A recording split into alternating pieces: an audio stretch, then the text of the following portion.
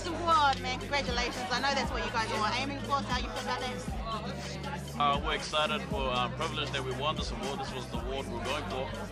People's Choice. Uh, we actually got three awards. People's Choice, Best uh, Selling Single, and Best Video. Congratulations, by the way. You guys did clean up quite a bit in there. And I did enjoy the performance, but what's your feedback on it? I think uh, the soundman should have done their job properly. But uh, in saying that, it was a really good response from the crowd. And yeah, man, I, I reckon we did quite well. And including the kids, too. And the kids, yeah, definitely. The kids was, was what made it. They came out, they did their thing, conveyed the message. You turn your back. Considering what you've been through lately, so, you know, you did really well out there, but how do you feel about the overall thing of tonight?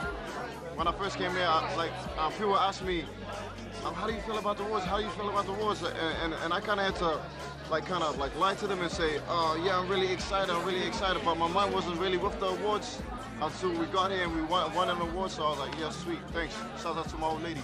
Now, thank you very much, boys, and um, congratulations again. You guys are doing really good. I'm a true fan of Smashproof. Yeah.